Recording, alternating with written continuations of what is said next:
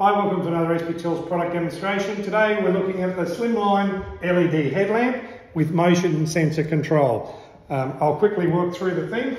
It's a rechargeable unit, comes supplied with a with a lead somewhere, I haven't got it on me, but you simply open the back of this up and that's where your recharge port is in behind, in behind there.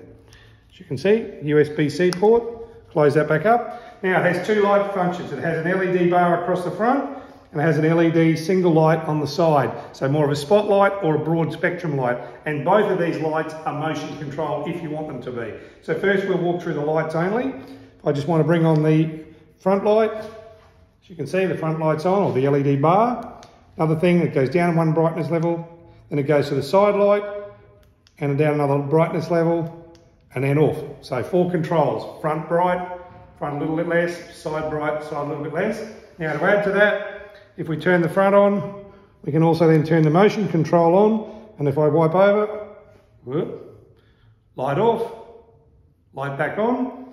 And if I scroll through onto the side, turn the motion control on, side off, side on. So nice and simple to use. And when you've got that on your head, it makes for great sense because you can turn your light off and turn your light on as required.